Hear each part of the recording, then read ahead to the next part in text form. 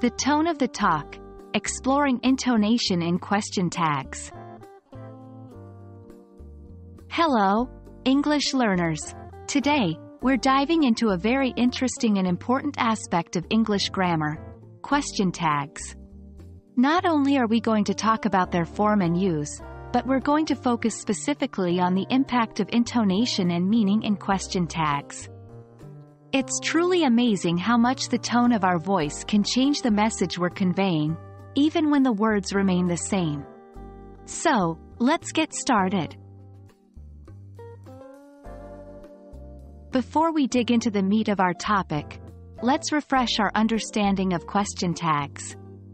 These are short questions that we put on the end of our sentences, often when we want to make a statement but also ask for agreement or confirmation.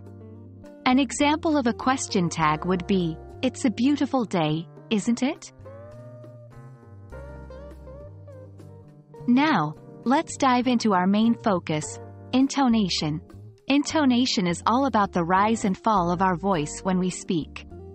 With question tags, intonation can significantly change the meaning of our sentence.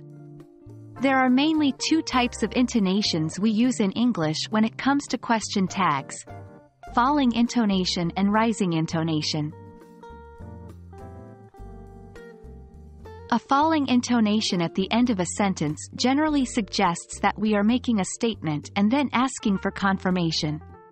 In other words, we're pretty sure about what we're saying, but we'd like to confirm it. Here's an example. You're coming to the party, aren't you? With a fall in tone on you. In this example, the speaker is pretty sure the person is coming to the party.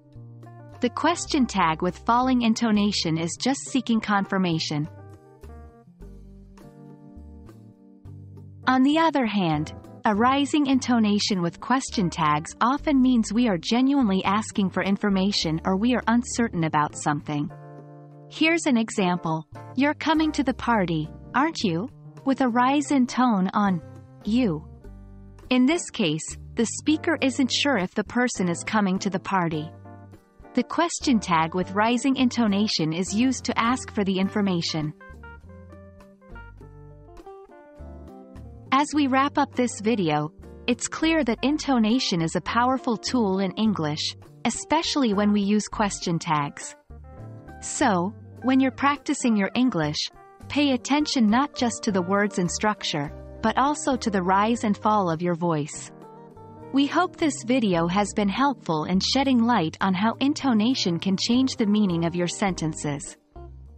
Keep practicing, and soon enough, you'll master the art of intonation in question tags.